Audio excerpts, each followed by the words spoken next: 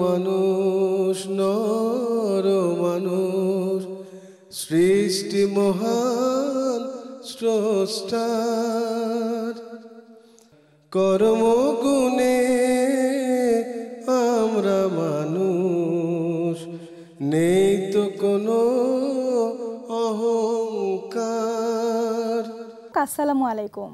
সকলকে স্বাগত, শুভেচ্ছা জানিয়ে শুরু করছি এনটিভির নিয়মিত পাক্ষিক আয়োজন, লাভেল নিবেদিত মহিলাঙ্গন অনুষ্ঠানটি।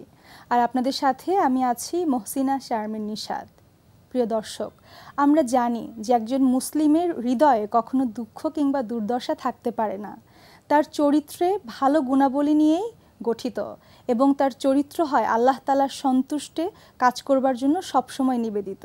প্রিয় দর্শক এখন আপনাদের জন্য রয়েছে আলোক প্রভা নারী ও মানুষ নর মানুষ।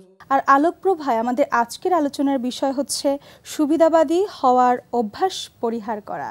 আর আলোচক হিসেবে আজকে স্টুডিওতে উপস্থিত আছেন ডক্টর সালমা আইনি প্রফেসর ইংরেজি ভাষা ও সাহিত্য এবং তিনি একজন লেখক। আসসালামু আলাইকুম রহমতুল্লাহি ওয়াবারাকাতুহু আপা, আজকে খুবই সুন্দর একটি বিষয় নিয়ে কথা বলব এবং আমরা জানি যে আমরা যদি বর্তমান পরিস্থিতির কথা চিন্তা করি আপা, আমরা দেখব যে কিছু বিষয় অনেক সময় মানুষ জেনে কিংবা না জেনে করে থাকে। তো সেই জায়গা থেকে আপা, আমাদের আজকের যে বিষয়টি, অর্থাৎ সুবিধাবাদী হওয়ার অভ্যাস পরিহার করা। তো প্রথমে আপা, যে টার্ম সুবিধাবাদী, এই ব্যাপারে একটু জানতে চাইব যে এটির ব্যাখ্যাটা কীভাবে কিংবা কারা আসলে এই পরিস্থিতিতে বা এই বর্গে পড়ে আপা। সুবিধাবাদী একটা খুব সহজ টার্ম এটি হচ্ছে যে যেই ব্যক্তি কিনা আল্লাহ তালা কথা তেমন একটা চিন্তা করবেন না, তাকে ভালোবাসবেন না। তার জীবনে আল্লাহ তালার উপস্থিতি এবং নবী সাল্লাহু আলাহি ওয়াসাল্লামের সুন্নার উপস্থিতি কম থাকবে। তিনি ধীরে ধীরে একজন সুবিধাবাদী ব্যক্তিতে পরিণত হবেন। আর কেননা আমরা জানি যে একজন মুমিন, যিনি ইসলামের ছায়াতলে এসেছেন এবং আল্লাহ তালাকে মেনে চলার চেষ্টা করছেন, তিনি সবসময় কি চাইবেন? সুবিধা নিজেরটা না দেখে অন্যের কিসে ভালো হবে? এবং আল্লাহ তালার পথে থাকার জন্য যেই পদ্ধতিতে চলতে বলা হচ্ছে, তিনি সেই পদ্ধতিতে চলার চেষ্টা করবেন। তাতে করে ওই যে সুবিধা নেবার একটি ব্যাপার, যে আনডিউ অ্যাকচুয়ালি এটা হচ্ছে সুবিধাবাদী হচ্ছে আনডিউ কোনো কিছু গ্রহণ করা বা সেটিকে যেভাবেই হোক বাই হুক বাই ক্রুক সেটিকে নিজের করে নেওয়া, এটিকে আমরা সুবিধাবাদী সংজ্ঞার মধ্যে ফেলতে পারি। আর একজন মুমিন হচ্ছেন, তিনি একজন খুবই পরি- পরিচ্ছন্ন ব্যক্তি। তার মধ্যে কি কি থাকবে? না, কি কি একেবারে না থাকার কথা, শির্ক থাকবে না, সেটা এক নাম্বার।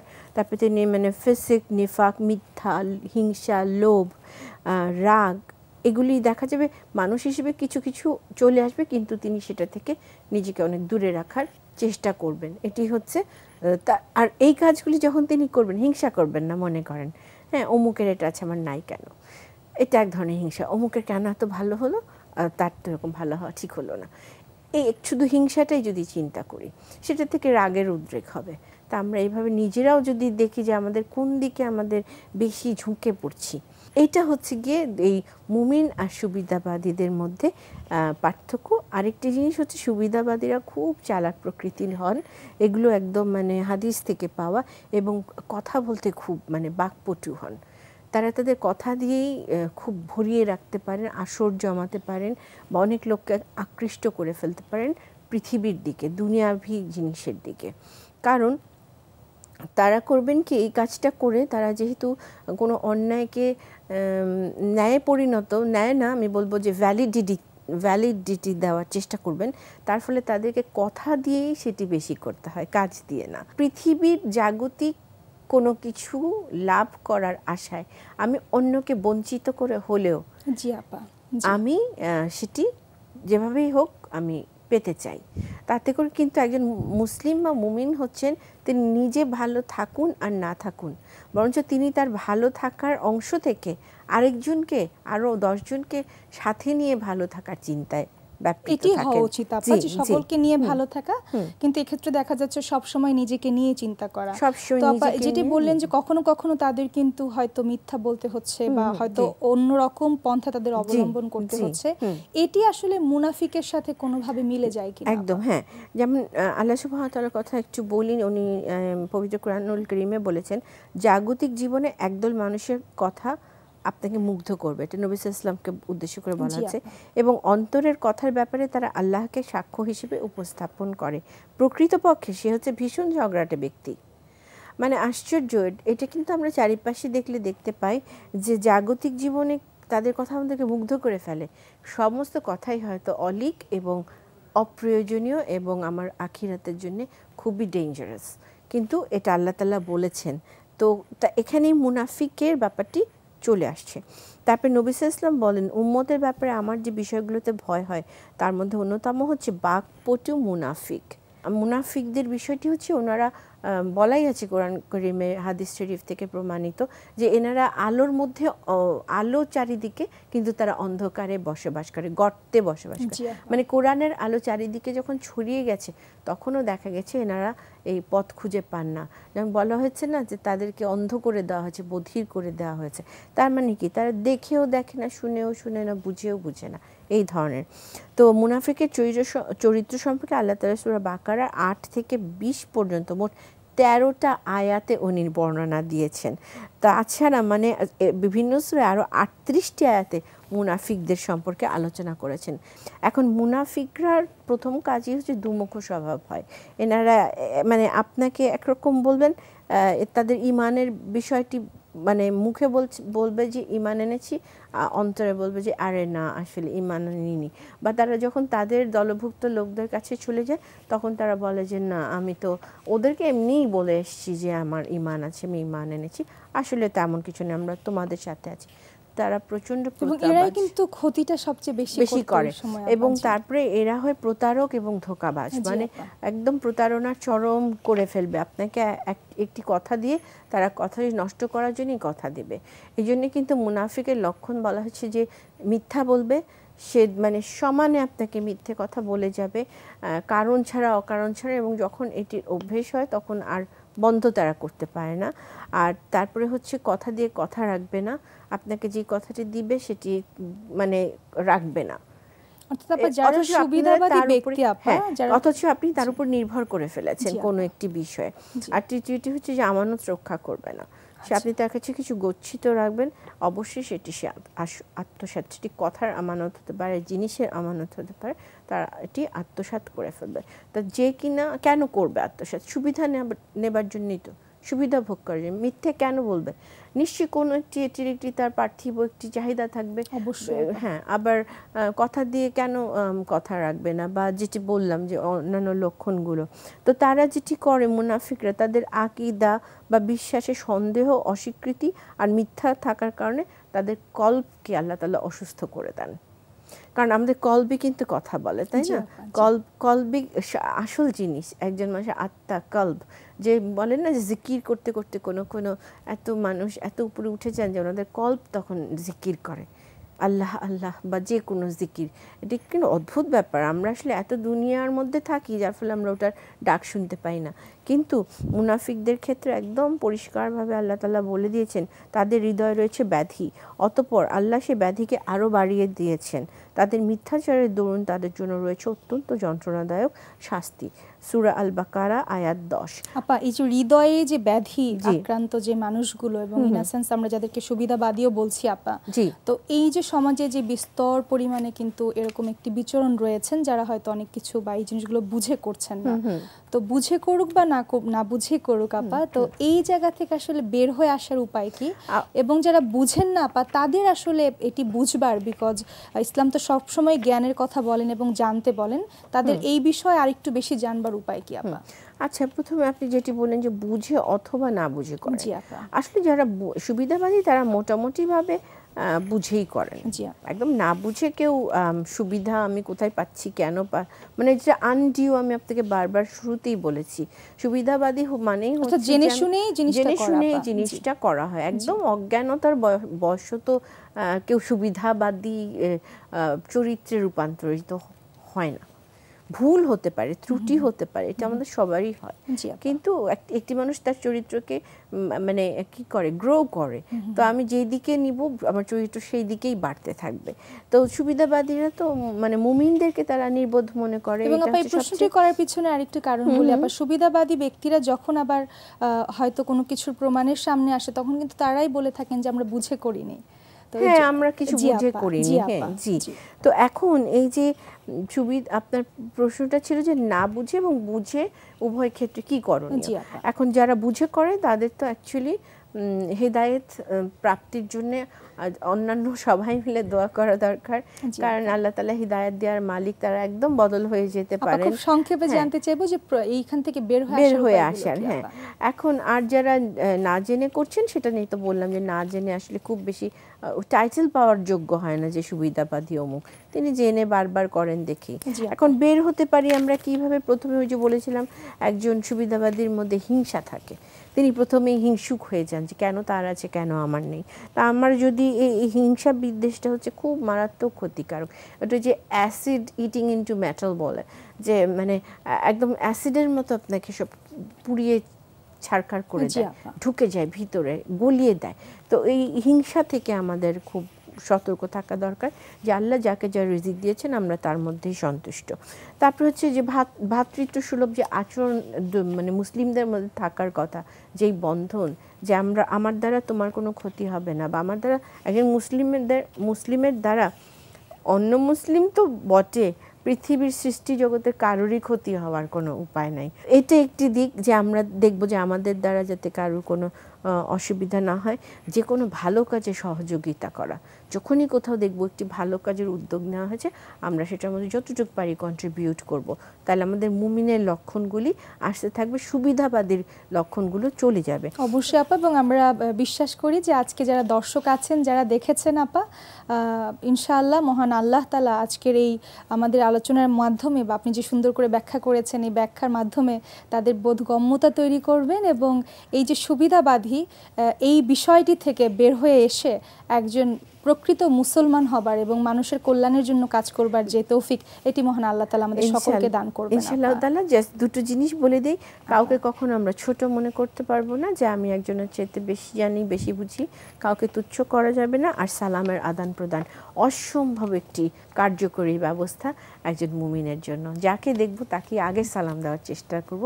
নবী ইসলামের আগে কেউ তাকে সালাম দিতে পারতেন না। আপা আপনাকে অনেক ধন্যবাদ এত সুন্দর আলোচনা করবার জন্য। মহান আল্লাহ তালা আমাদের কবুল করুন এবং আমাদের জীবনের প্রতিটি ক্ষেত্রে যেন আমরা কখনোই সুবিধাবাদী না হই এই বিষয়ে আমাদেরকে সতর্ক থাকার তৌফিক দান করুন। আমিন আমিন। আলহামদুলিল্লাহ রবিল আলমিন। সব প্রশংসা আমার প্রভুর। সবাইকে সবাইকে শুক্রিয়া। এবারে রয়েছে আমাদের আলোচনা। নারী ও মানুষ নর মানুষ। প্রিয় দর্শক, আমরা জানি যে পর্দা বা হিজাব হলো নারীর সৌন্দর্য এবং মর্যাদার প্রতীক। আর এই পর্দা যদি না মেনে চলা হয়, তবে সমাজে পড়ে বিভিন্ন রকম প্রতিক্রিয়া এবং বিক্রিয়া। তো সেই জায়গা থেকে আমাদের আজকের আলোচনার বিষয় পর্দাহীনতার পরিণাম। আর আজকের বিষয় আলোচনা করবার জন্য স্টুডিওতে উপস্থিত আছেন ডক্টর নাসিমা হাসান, শিক্ষাবিদ এবং ইসলামিক আলোচক। আসসালামু আলাইকুম। আপা, যেটি বললাম যে আমরা আজকে আলোচনা করব আপা পর্দাহীনতার যে পরিণাম সেটি নিয়ে। কিন্তু প্রথমেই জানতে চাইব যে পর্দা সম্পর্কে আপা ইসলামের কুরআন এবং হাদিসে কি বলা আছে? অবশ্যই। এটা আসলে খুবই গুরুত্বপূর্ণ বিষয় মানুষের জীবনে। এবং আমরা অনেকেই মনে করি যে পর্দার অর্থই একটি নারীর কথা চিন্তা করি কিন্তু এখানে নারী এবং পুরুষ উভয়েরই কিছু নিয়ম নীতি রয়েছে। বিশেষ করে সুরা আরাফে আল্লাহ তালা বলেছেন হে বনি আদম অর্থাৎ পৃথিবীর সকল দুনিয়াবাসীকে আল্লাহ অ্যাড্রেস করছেন এখানে যে তোমাদের জন্য আমি পোশাকের বিধান নাজিল করেছি এবং সেটা কি? যাতে করে তোমরা তোমাদের লজ্জাস্থানকে ঢেকে রাখতে পারো এবং তোমাদের জন্য এটা শোভাবর্ধক অর্থাৎ এই ড্রেসটা বা পোশাক আমার কিন্তু শোভা বর্ধনও করবে। তারপর আল্লাহ বলছেন যে তাকুয়ার পোশাকই কিন্তু সর্বোত্তম এবং এটাই উত্তম। এটা আল্লাহর নিদর্শন সমূহের মধ্যে অন্যতম আর আশা করা যায় তারা শিক্ষা গ্রহণ করবে। শুধু এই একটি আয়াতকে যদি একটু বিশ্লেষণ করি আমাদের প্রায় ছয়টি বিষয় এখানে সামনে চলে আসে। একটি হলো পোশাকের যে বিধান আল্লাহ তালা আমাদের জন্য পছন্দ করেছেন সেটা সকল মানুষের জন্য আসলে উপকারী। কেননা বনি আদম এভাবে অ্যাড্রেস করেছেন যে আদমের সন্তানগণ। দ্বিতীয়ত হলো লজ্জাস্থান ঢাকার ব্যবস্থা করেছেন। তৃতীয়ত হলো শোভাবর্ধক। অর্থাৎ আমার ব্যক্তিত্ব, রুচি প্রত্যেকটিতেই কিন্তু এটা বিশেষভাবে যোগ দিচ্ছে আমার পোশাক, কীভাবে পোশাক পরছি সেটা। আরেকটি হলো তাকুয়ার পোশাকে উত্তম। অর্থাৎ এখানে আমার তাকুয়া অবলম্বন আমার পোশাকের মাধ্যমেও আমার হৃদয় এবং আমার আচরণ প্রকাশ পাবে। পঞ্চমত হতো এলা আল্লাহর নিদর্শন, অর্থাৎ পোশাক কিন্তু আল্লাহর নিদর্শন, আল্লাহ নিজেই বলছেন এবং শিক্ষা গ্রহণের উপাদান। অর্থাৎ এটা নিয়ে আমাদের অনেক চিন্তা করা উচিত। এটা চিন্তার বিষয়, যেহেতু আল্লাহ বলেছেন এটা নিদর্শন সাইন অফ আল্লাহ।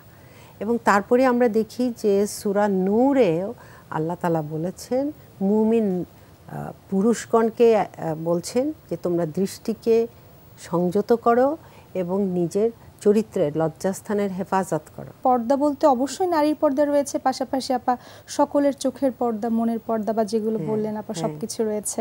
তো আপা এই যে পর্দা যেটা ব্যাখ্যা ইসলামে স্পষ্ট করে দেয়া আছে আমরা দেখি যে আপা অনেক সময় সেটি হয়তো মেনে চলা হয় না। তো যখন মেনে চলা হয় না আপা তখনই পর্দাহীনতার প্রশ্ন চলে আসে এবং যদি পর্দাহীনতার বিষয়টি চলে আসে আপা এর পরিণামটা আসলে সমাজে কীভাবে হচ্ছে?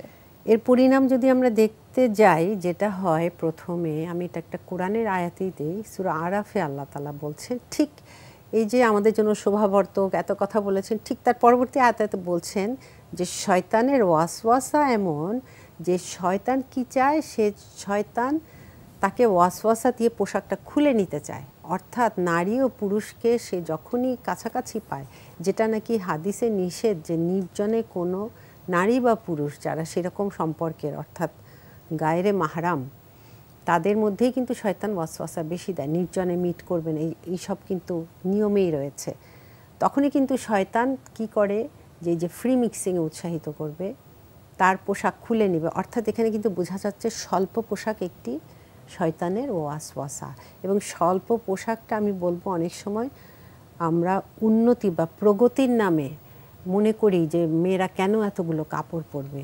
কাজে তার কাপড় চোপড় আরও কমিয়ে ফেললে অসুবিধা কি? এটা কেন সাংঘর্ষিক হবে? বা কেন ধর্ম, ইসলামের পোশাকটাই উন্নত সব কিছু তো ঠিকই আছে? এই যে সব যুক্তি নিয়ে আসে, কিন্তু আমরা বুঝতে পারি যে যখন পোশাকের বিধান আমাদের শিথিল হবে, তখন কিন্তু আমার আচরণে পরিবর্তন ঘটবে। যেখানে সুরা আরাফের পূর্ববর্তী অর্থাৎ পোশাকের আয়াতেই আল্লাহ বলেছেন যে তাকুয়ার পোশাক সর্বোত্তম। অর্থাৎ আমি যখন পোশাক পরবো, আমার মধ্যে তাকুয়া অর্থাৎ আল্লাহর প্রতি যে জবাবদিহিতা, এটা প্রকাশ পাবে আমার হাঁটা চলা কথায়। এখন আমি পর্দাও করলাম, কিন্তু এমন টাইট পোশাক পরলাম যে সবাইকে আমার দিকে তাকাতে আমি উদ্বুদ্ধ করছি।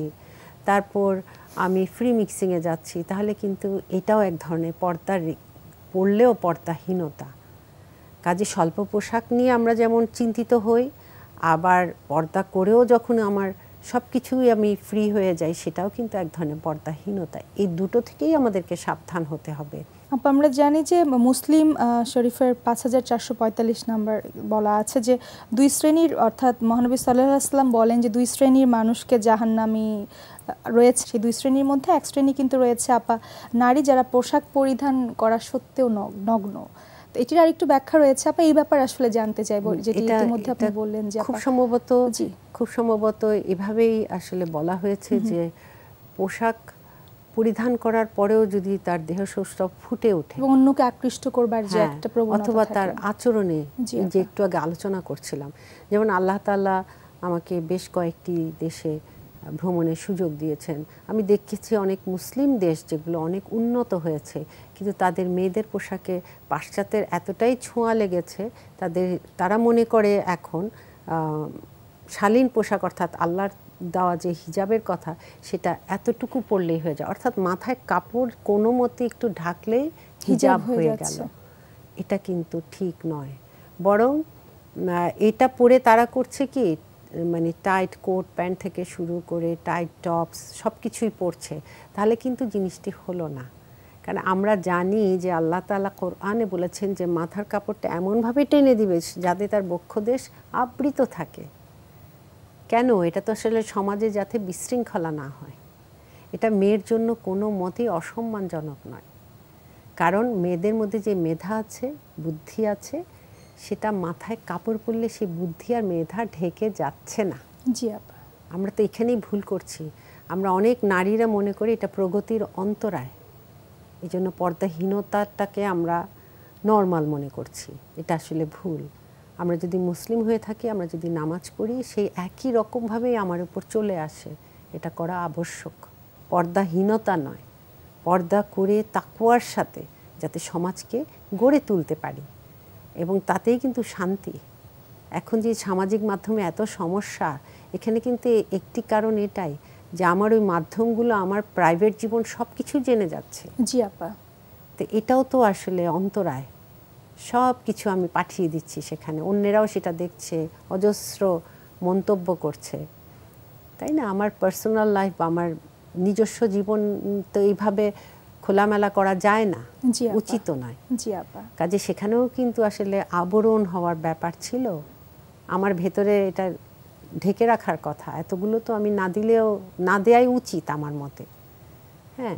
কাজে- আশা করি যে আপনি যে আপা এত সুন্দর করে ব্যাখ্যা করলেন এবং আজকে যারা দর্শক রয়েছেন আপা আমরা বিশ্বাস করি যে যারা শুনেছেন আজকের আলোচনা ইনশাআল্লাহ প্রত্যেককে পর্দা করবার তৌফিক দান আল্লাহ তালা করবেন এবং সেটি শুধুমাত্র পোশাকের পর্দা নয় আপা চোখের পর্দা মনের পর্দা আমাদের আচরণের- পর্দা আমাদের সকলের সেই তৌফিক আল্লাহ তালা দান করুন। নারী পুরুষ উভয়ের অবশ্যই আপা আপনাকে অনেক ধন্যবাদ আপা এত সুন্দর আলোচনার জন্য। সবাইকে ধন্যবাদ। প্রিয় দর্শক আপনারা এতক্ষণ শুনলেন অত্যন্ত এবং অনেক সুন্দর একটি আলোচনা এবং ইনশাআল্লাহ মহান আল্লাহ তালা আমাদের সকলকে ঠিক এইভাবে যেভাবে আপা ব্যাখ্যা করলেন, এভাবে আমাদের পর্দা করবার তৌফিক দান করুন। প্রিয় দর্শক, যারা আজকের অনুষ্ঠানটি দেখতে পারেননি কিংবা আরেকবার দেখতে চান পৃথিবীর যে কোনো প্রান্ত থেকে, তবে আপনাদের ভিজিট করতে হবে এনটিভির ওয়েবসাইটে। আর এনটিভির ওয়েবসাইটটি হলো W W W dot ntvbd dot com. এছাড়াও আপনারা ভিজিট করতে পারেন এনটিভির ইউটিউব এবং ফেসবুকের ভেরিফাইড চ্যানেলটিতে।